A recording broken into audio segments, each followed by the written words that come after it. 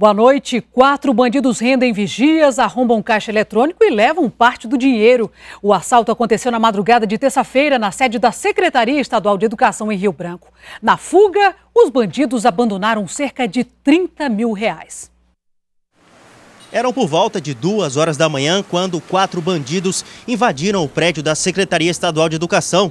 Dois vigilantes foram rendidos. Com maçaricos, os ladrões arrombaram estes dois caixas eletrônicos que ficam no saguão do prédio. Ainda não se sabe a quantia levada pelo grupo. Certo mesmo é que eles deixaram 30 mil reais pelo caminho. Este é o primeiro incidente registrado por aqui. Na parede, os bandidos ainda escreveram o nome de uma facção criminosa que atua em vários estados do país.